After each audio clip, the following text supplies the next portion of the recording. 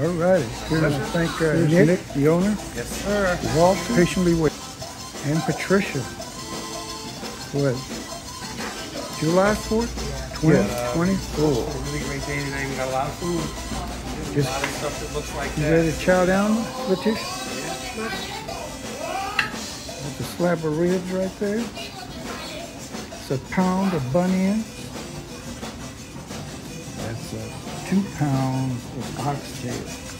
Mm. Two pounds of brisket. And all the fixings. Yes, we've been blessed.